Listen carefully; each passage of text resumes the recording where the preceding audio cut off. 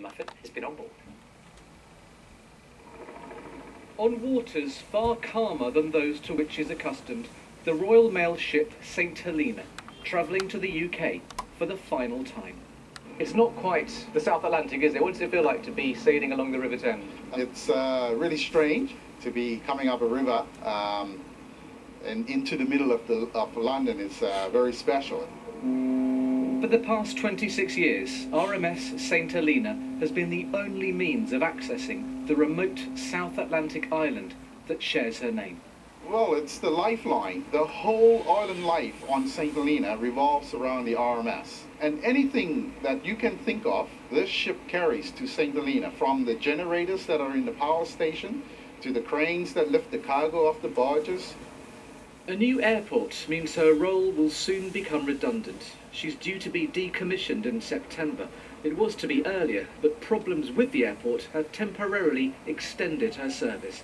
She won't, however, return to the UK. It's going to be very sad for the RMS to come to an end. I think life will change. Um, you know, we'll be open up to more international tourists. It might take a little while for people to adapt to the changes.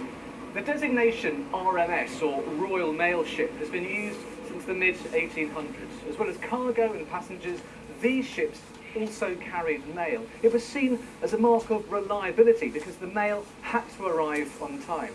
It is, though, tragically ironic that the most famous was the RMS Titanic. The growth of airmail and email means RMS St. Helena is, for a short while longer, the only working Royal Mail ship. Tower Bridge lifting especially for you.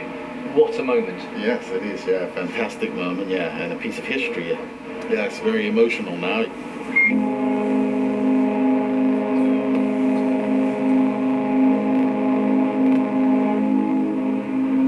This is a fitting tribute to a ship that has served the community of St. Helena in such a sterling fashion for the past 26 years. She has been the lifeline to our island. She's part of the wider St. Helenian family. We're proud of her, and I'm proud of all of the crew on board. One final sack of Royal Mail will now be loaded on board, as well as letters from 50 school pupils in Cardiff addressed to their pen pals in St. Helena. And then the final voyage from the UK to the South Atlantic. She'll be moored alongside HMS Belfast until Tuesday before setting off. Disappearing with her will be one small piece of British maritime history. Tim Muffett, BBC News. Should we have a last uh, brief look at the headlines wherever you are this morning? We'll be talking about fashion, dress sense, what should you work in the work, wear in the workplace.